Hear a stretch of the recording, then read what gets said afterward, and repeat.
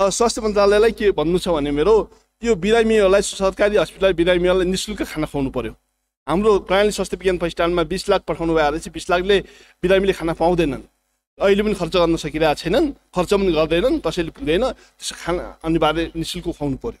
एउटा कुरा अर्को कुरा के गर्नु पर्यो भने त्यो श्रावण एक गतेबाटै कर्मचारीले तलब खाना हुने श्रावण एक गतिबाटै मृगोला रोगीले पनि प्रत्यारोपण गर्न पाउनु पर्यो श्रावण एक गतिबाटै उनीहरूले सहयोग स्वरूप पाँच हजार रुपियाँ पाउनु पर्यो ए एक गतिबाटै पाउनु पर्यो जहाँबाट जो बिरामी भए पनि एक गतिबाट पाउनु पर्यो होइन कर्मचारी आफू खाइहाल्ने तपाईँ हामी खाइहाल्ने बिरामीले नपाउने भन्ने हुँदैन यो मन्त्रीज्यू यो जाँदा जाँदै होस् अथवा रहँदा होस् यो गरेरै जानु होला मैले यो राखेँ अब अर्को कुरा पिछडिएको दुर्गम क्षेत्रका बिरामीको बारेमा तपाईँहरूको वरिपरि त जुन हस्पिटल गयो भयो रोजी छाने मेडिसिटी जानुहुन्छ कि कि ग्रिनल्यान्ड जानु कि जानुहुन्छ बिर हस्पिटल जानु कि टिचिङ जानु पाटन जानु हामीलाई कहाँ छ?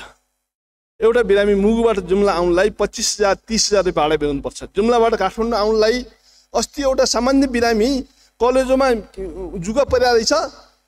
उसलाई तुरन्त रिफर गरिदियो जुम्लाबाट यहाँ।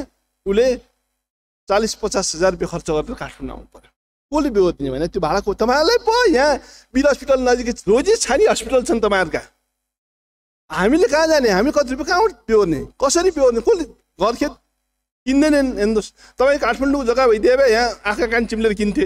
हाम्रो पिछडिको क्षेत्रको जग्गा कोही किन्न पनि किन्दैनन्। कसले किन्दिने? कहाँबाट आउने भने मान्छे? कहाँबाट यहाँ आउने? काठमाडौँ दर्शन गर्न कहाँबाट आउने? त्यसो भए हुनाले यो हुन त अब यो नीति त कार्यक्रम भइहाल्यो बजेट बनिहाल्यो तर अहिले सुनाउँदा अब भोलिसम्म तपाईँहरूको दिमागमा कहीँ आउँछ कि? दुर्गम क्षेत्रका मान्छेहरूले कहीँ न कहीँ नभए फिफ्टी पर्सेन्ट होस् अथवा ट्वेन्टी फाइभ पर्सेन्ट होस् बिरामीले भाडा पाउनु पर्यो।